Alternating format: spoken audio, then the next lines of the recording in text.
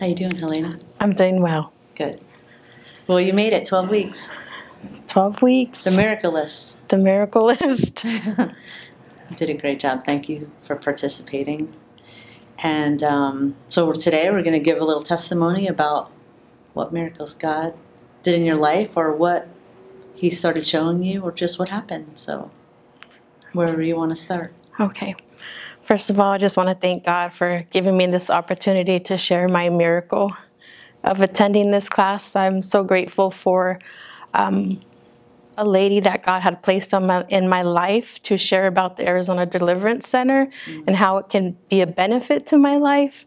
And I took the step of faith, and I remember signing up, and I was like, unfortunately, I can't attend the first session, but you made it available to me to watch the video online and still do my homework and come to the next class. And I was just, wow, amazed at the teaching, at the instruction of going through the process of healing and restoration and deliverance.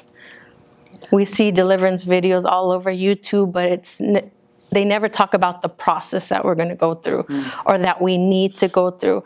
And coming to the steps to freedom has allowed me to see the process that deliverance requires and the maintaining of deliverance to live a life of victory. And when we have those times where we might fall short, because we will fall short, mm-hmm. we can get back up and walk in God's freedom Amen. and glory, offer His glory. The first session talked about writing a list of those who have hurt us and writing that list. It was really hard, it was really difficult because you have to think your whole life the people that, that have hurt you, that have let you down.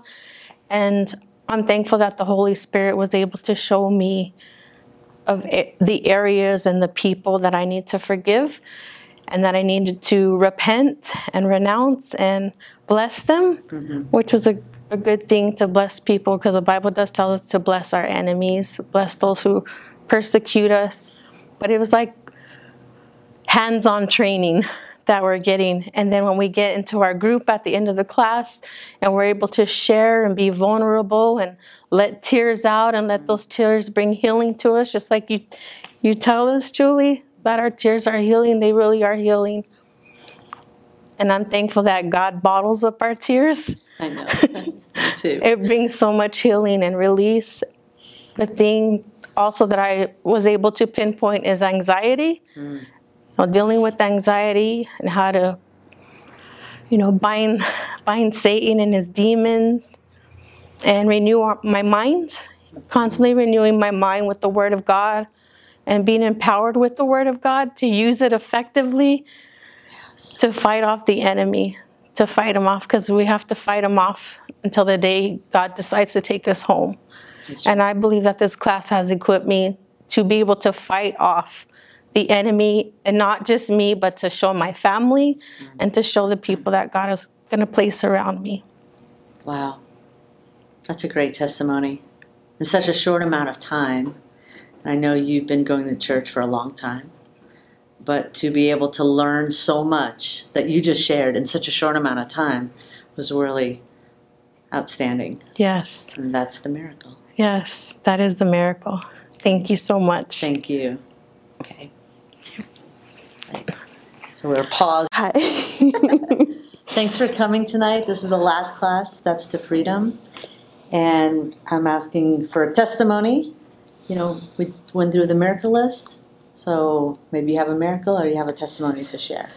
um, well, I mean, she did a good job a great job. explaining everything. Yeah, but what um, has God done in your life in the well- last 12 weeks? Maybe one little thing or it's been a process, whatever you want to share. It's been awesome. God is just awesome. It's it's like I've been in church my whole life. I've slid back. I've come back. I slid back. I've come back. But like learning in this class, the deliverance and everything like that. It's just learning how great God's love is and how merciful He can be towards everybody.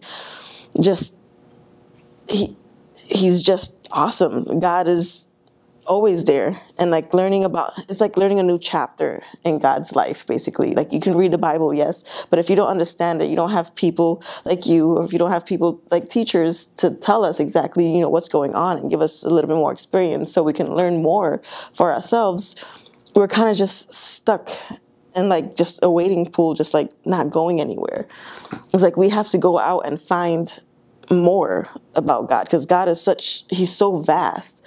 He's been here way before we were even made because He created us. He's the same yesterday, today, and forevermore. And we just like touched the tip of just understanding that God exists.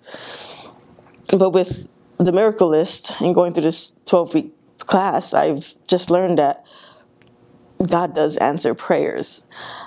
And it's within, you know, renewing our mind and having a mind like his and a heart like his that our prayers can be answered. Like that Bible verses, I do apologize, I don't know which chapter it's in, but you know, um, God if when we if we don't ask, we don't get from God. And if we ask and we ask amiss, he won't answer us. So basically, it's like saying if we have a heart like his, we constantly renew our mind, we change our hearts to have a, a, not a heart of stone, a heart of, of flesh, of which he would give us, he will answer our prayers because then our prayers match what he wants for us in our own lives. Mm. So I just, in that aspect, I've learned so much that God is always there and he always will answer prayers as long as you have a heart like his and you're constantly praying that he stays with you and that you go and look for him more. so that's what I've learned. And there's just so much more, just vast majority of knowledge and everything. And just, if I had one thing to say about this class, is like definitely do it. Mm. Definitely learn more about yourself. Learn that, you know, God is just merciful and gracious and loving, and He's always there, and He always will help. I agree. Thanks for sharing. Thank you. I was not allowed. Oh, last wow. last Tuesday I was ready. Yeah, yeah ready. Okay. Lorena, I'm so glad you came back this week, our final week. Yes. Yes. So, what has God done in your life in the last 12 weeks? Well, uh, first of all, I wanted to thank you, thank the Deliverance Center for this opportunity this uh, I really really loved my classes and I truly lamented the times when I couldn't come mm-hmm. because it was part of my my life my routine so it was very very important and I was happier because of my classes it was something I always looked forward to nice. it Tuesdays nights Tuesday nights and I really enjoyed it I learned and and there's so many things, so much information. Plus, the camaraderie was awesome. I truly loved my sisters and the the compassion, the the level of understanding mm-hmm. From one another. That was also something that I cherished a lot. And uh, well, I felt like I said happier just from being in this class, and that's that says a lot. And and also I I noticed that yeah I was feeling happier, and I like I had like a lot more positive thoughts from morning till night. Mm and I noticed that that there was no, you know, ugly thoughts that I had to fight.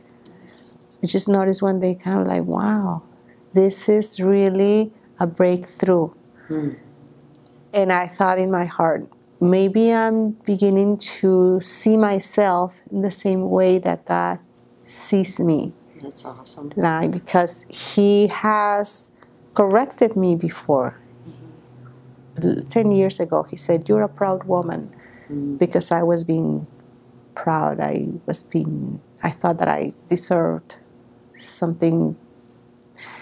And he said that. But but but mm, he does he, he he called me proud, but he didn't call me names like nothing ugly. But from the moment I started taking these classes, I noticed that that completely disappeared. No bad thoughts, no putting myself down in any way. That is kind of eliminated from my vocabulary. And to me, that is a big thing. That's great. Mm-hmm. Yes. Uh, I think there's a lot of people that would like to be able to say one day mm. those negative thoughts are just no more. yes. That's a big deal. it is. That's peace. It's peace. Yes. How you been sleeping? I am sleeping. Yes. I am sleeping. Thank God. yes, you weren't Yes. sleeping, but now you are. Now I'm sleeping nicely. Yes, my body is like like a clock now. Like a, if at 9:30 I begin to feel I go to bed. And before you were not sleeping. Before I could go to sleep, but then three hours later I was like uh, turn turning and tossing. And now no, it is eight hours. Eight hours, Beautiful. like beautiful. It makes a difference. I'm not Oh, huge difference. huge difference yes I. I yeah losing your sleep is very very um, it's concerning Yeah. because you cannot function you cannot think or react uh, Right. right exactly so yes i am sleeping thank you thank you thank Great. god Mhm. All right. Thanks for sharing. yes thank you Okay. Uh, Done in your life in the last 12 weeks. so much. So much. Uh, I do want to say this class has stretched me and uh, it um, caused me to go deeper. So even though I was teaching the miracle list, I was also going through the miracle list.